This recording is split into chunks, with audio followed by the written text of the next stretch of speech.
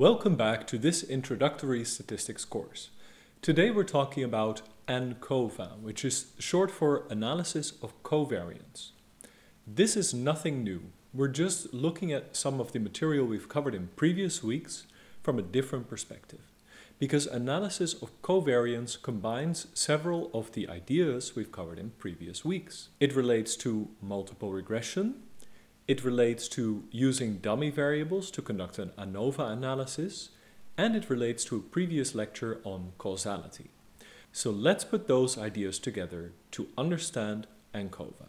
We can define analysis of covariance as multiple regression with one categorical variable of interest and at least one continuous control variable that's not directly of interest.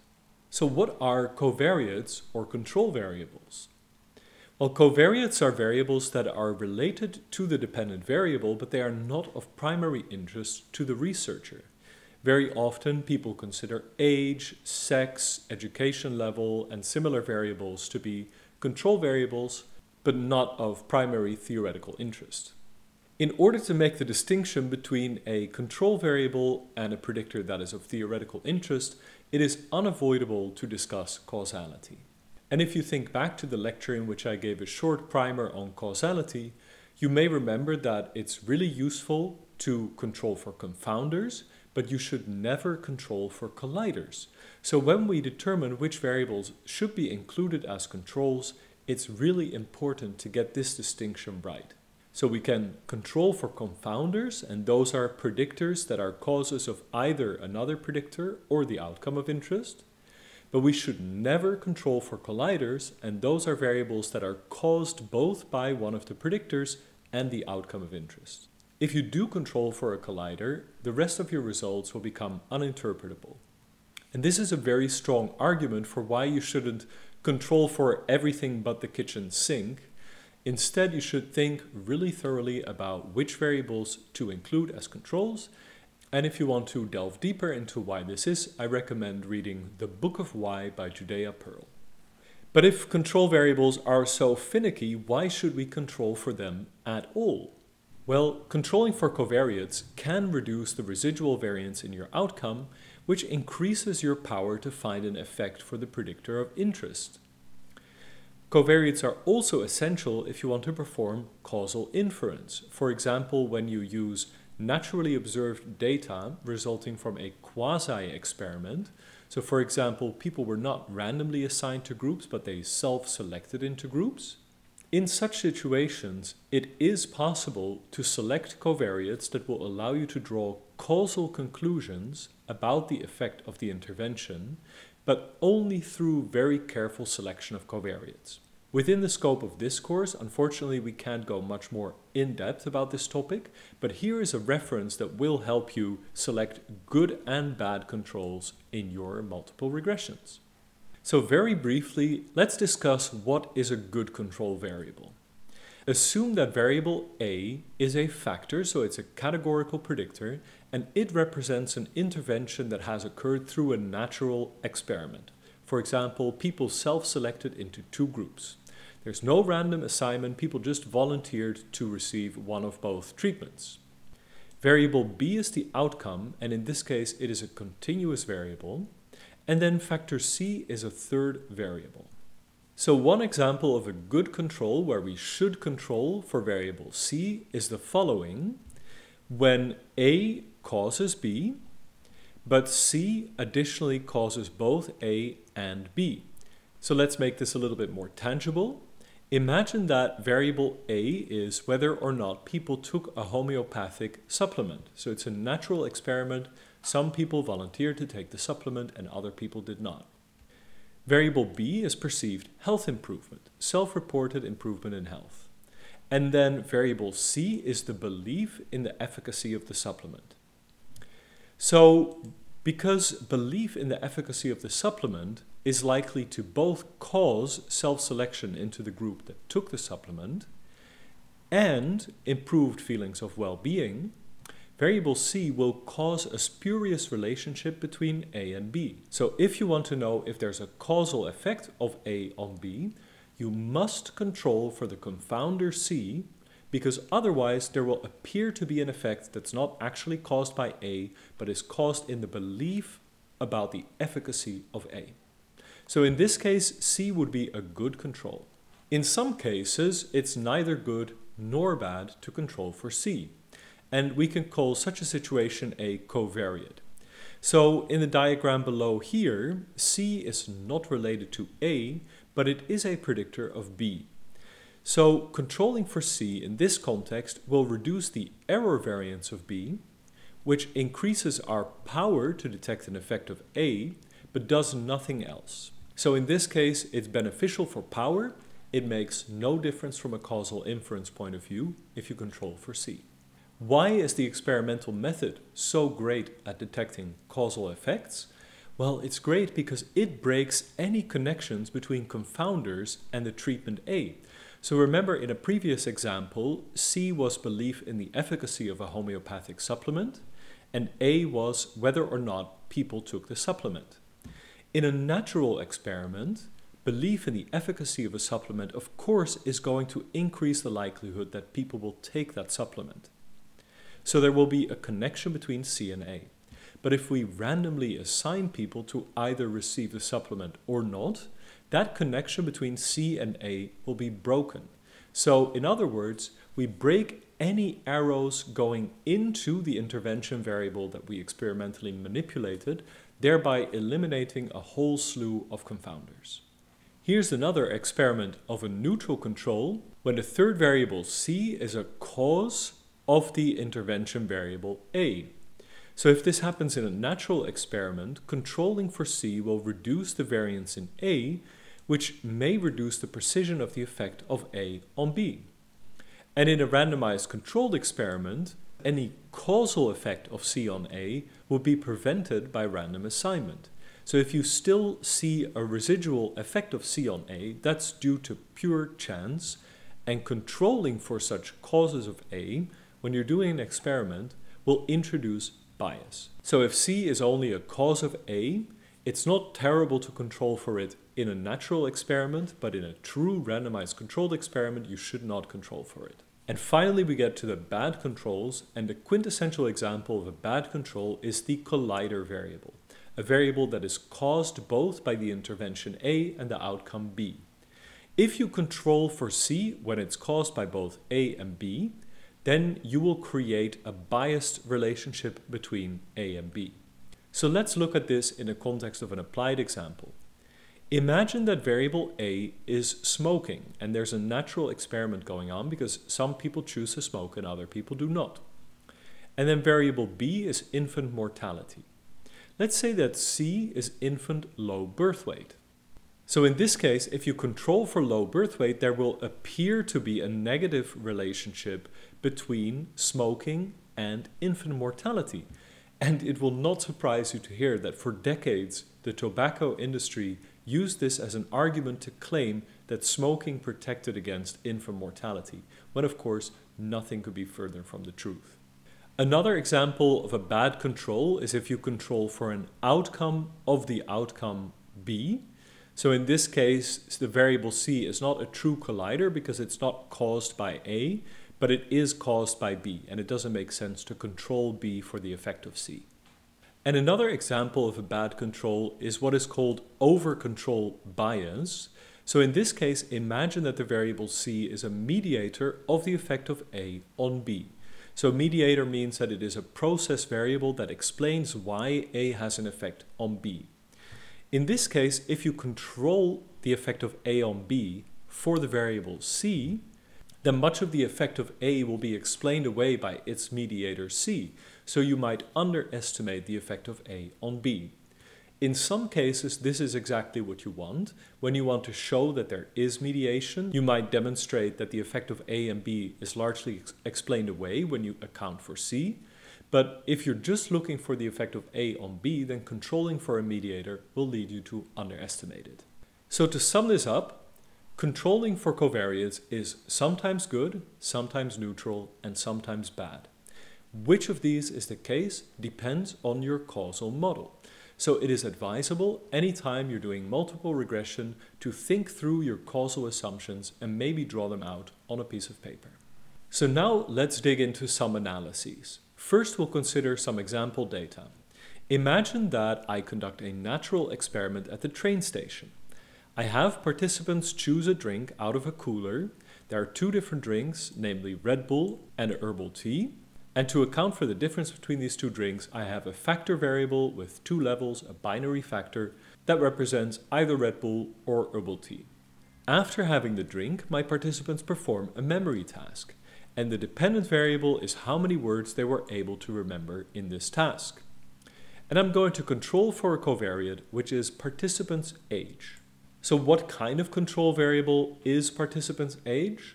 Well, I think it is a neutral control like this, where participant's age does have a causal effect on the number of words remembered, but it probably doesn't have a causal effect on the drink they took, well, actually, maybe younger people might prefer Red Bull.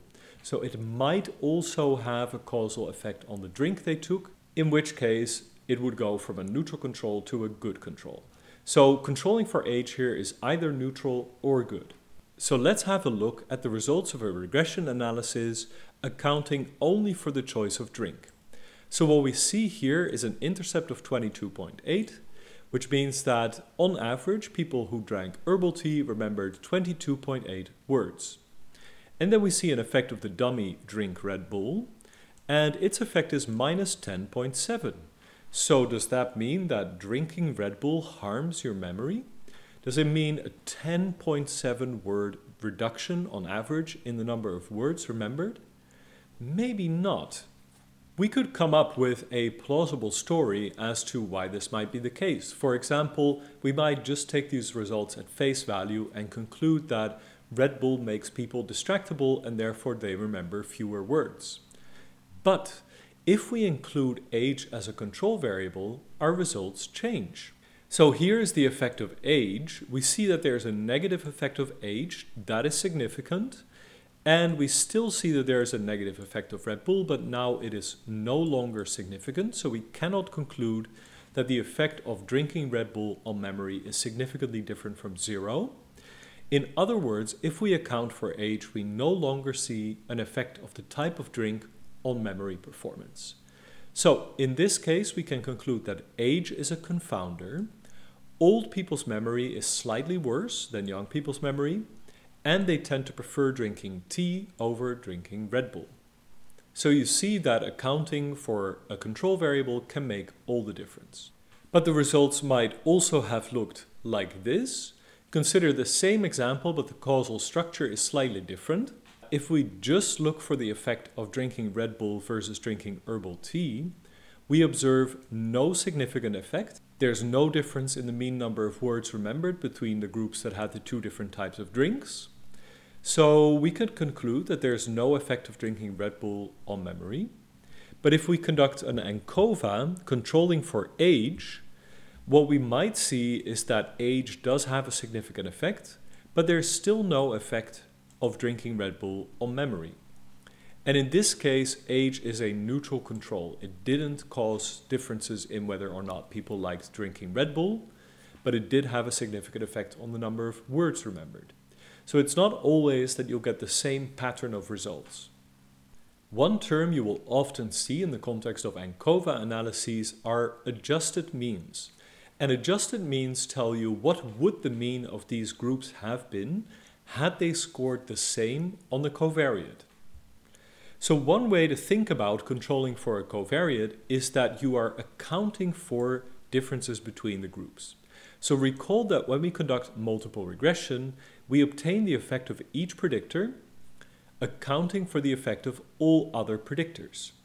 And we can use that property to reconstruct the adjusted means. In other words, what would the means have been had people scored differently on the control variable? We can illustrate what the adjusted means are using these diagrams. So imagine that this orange ellipses here represents the data originating from your control group and the gray ellipsis here represents the data that originated from your experimental group. So imagine that the orange ellipsis here originated from the Red Bull group and the gray ellipsis here originated from the herbal tea group. Within both of those groups there is an effect of age, which in this case would be the covariate x. Nevertheless, each group has a mean value on the outcome, which is number of words remembered. So for the orange ellipsis, this point in the middle represents the mean value on words remembered for that group.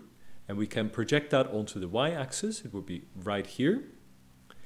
And the same thing for the gray group. This gray dot represents the mean value of the gray group. And we could also project that onto the y-axis. And then we see that before controlling for the covariate, there's a pretty big mean difference between the mean of the orange group and the mean of the gray group. But the groups also differ on their values on the covariate x. Specifically, we see that all people in the orange group scored lower on the covariate x, and all people in the gray group scored higher on the covariate x. If we want to make these groups comparable on the covariate x, we would have to look what their means would be had they both scored the same on the covariate. And to do that, we can estimate the linear regression effect of the covariate and extrapolate that to a particular value, for example, the value 0 for the covariate x. And then we would get an adjusted mean for the orange group over here. So we basically look where the regression line of the covariate intersects a particular value for that covariate. And we can do the same thing for the gray group. We can estimate the regression line for the effect of the covariate there and extrapolate it until we get to the same value for the covariate. And then we see that after adjusting for the pre-existing group differences on the covariate, the mean differences between the orange and the gray group are much smaller. Moreover, they are reversed compared to what they were before adjusting for the covariate because then the gray group scored higher than the orange group, but after adjusting we see that the orange group scores higher than the gray group. And that shows why it can be very important to adjust for covariates.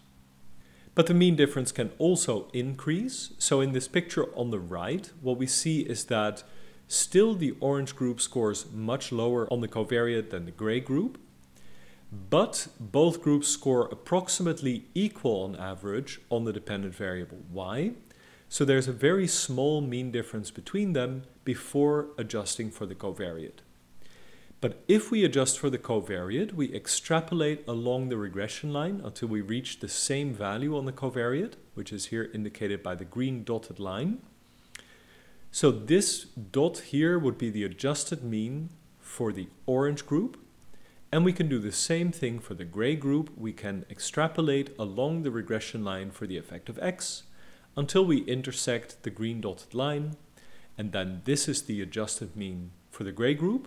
And we see now that the difference between the adjusted means is much larger than the difference between the unadjusted means. So after adjusting, the effect can go either way, can either be much bigger or much smaller. So how do we obtain such adjusted means? Well, one way is using the regression coefficients. The regression coefficients give us the mean value of the reference group for a covariate value of 0. And the slope of the dummy variables allows us to calculate the mean for the other groups also for a covariate value of 0. And we can then use the regression formula to calculate adjusted means for other covariate values. So how does this work?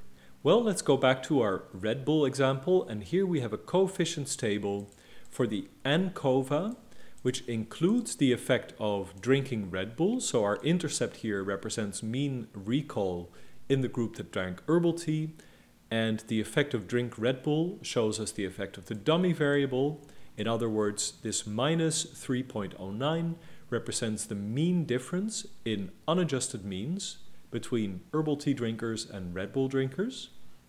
And then there's an effect of the covariate age.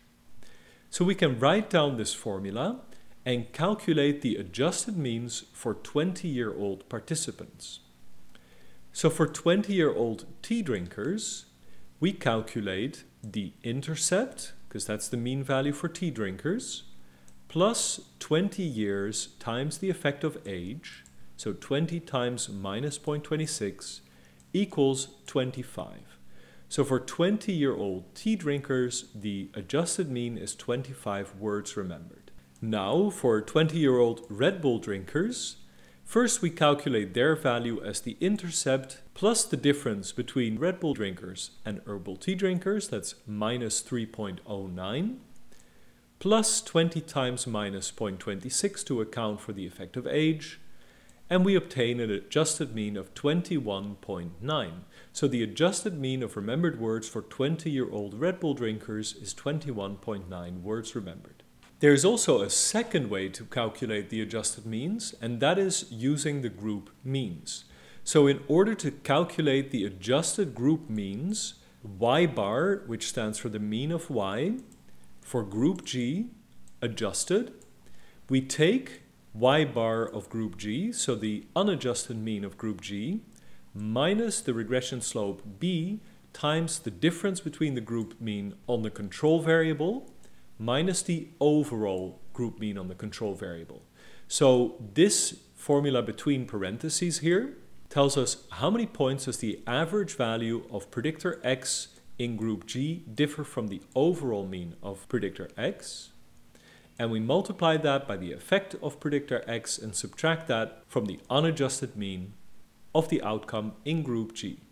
I personally prefer just using the regression formula because you can use the regression formula for lots of other things as well, so you don't have to learn yet another technique. But I do want to show you this formula for adjusted group means, so you could use it in a pinch if necessary. And this is all you need to know in order to be able to work with ANCOVA analyses. So you see it's a lot of refreshing of previously covered material. So get some practice with the tutorial assignments and I'll see you next week.